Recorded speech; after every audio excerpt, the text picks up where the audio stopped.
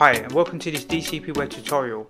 In today's tutorial I'm going to show you how to add portrait and landscape pages into the same Word document. Okay so on my desktop I've got this folder and inside this folder I have two documents. I just want to open up this first document and it's a technical specification. So normally when I'm creating documentation for uh, e-commerce projects in this example I want a document that I can go and edit quite quickly and create a specification with minimum effort right? So I want to be able to turn around the specifications quite quickly. And this one happens to be for e-commerce using WooCommerce. So I have quite a few different documents laid out like this.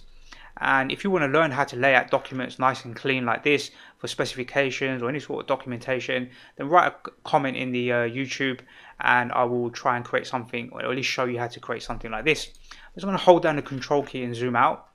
And we can see all the pages. So I have landscape uh, and portrait. So this is portrait and these ones are landscape. Then it moves on to more portrait. And the type of page I select is really down to the type of content I'm adding, right? So this particular table here has lots of columns um, so I'm more interested in, in a landscape page so I can fit all the columns in. But this table has only three columns but quite a few rows. So I decided to put that onto a portrait page, right? So the type of page, whether it's landscape or portrait, you really need to think a little bit in advance as to uh, what content you're going to be putting onto that page. So let's close this and let's go ahead and open up Microsoft Word and I'll show you how to add these different styles of pages into the same Word document. So let's zoom in on this page and as default Microsoft Word will load this page up as A4 um, portrait, right? There's an A4 page for printing and it's in portrait view.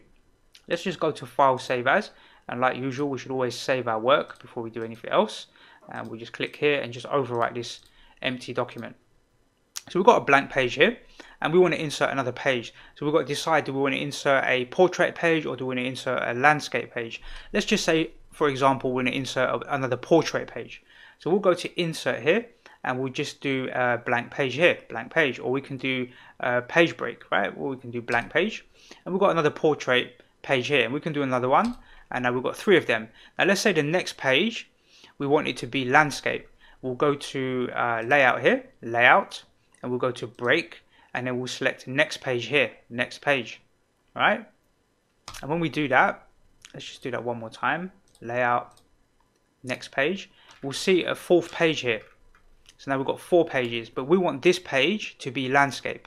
So we'll click on this page and we'll go back to layout and we'll go to orientation and set it to landscape now you can see one two three portraits and this one is landscape it's important that you go to break and select next page so when we do that, it will be landscape now, right? Because that the previous page was landscape, so this one will be landscape. But if we go back to orientation and set it to portrait, now we've got a portrait page and we've got these landscapes sitting in between. So just go to uh, break here and go to next page and it will create a new page here and you can set that one to landscape if you want. Then go to uh, break, insert next page. And you, if you want that second one to be landscape, then you can just continue, right? just go to break and next page and you've got three landscape ones now. And then we'll go to break insert next page here. And we'll make that one finally uh, portrait. So now you can see the amalgamation of different pages uh, in different layouts. And your printer will print these out fine. It will just print it out in landscape right for this particular page. Uh, but it will print out perfectly fine um, on the A4 piece of paper so if we just close this or let's just save this that's how you go about just laying out your different styles of um, landscape and portrait within the same Word document.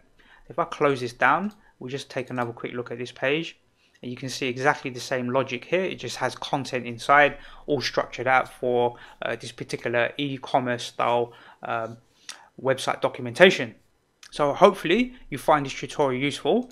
I found it useful. I had to learn how to do that because I wanted to create that style of document where I needed a lot of content on the width and some of the content on the height. So I chose portrait for some and landscapes for others. So that's the end of this tutorial. I hope you find it useful and I look forward to seeing you on the next DCP Web tutorial.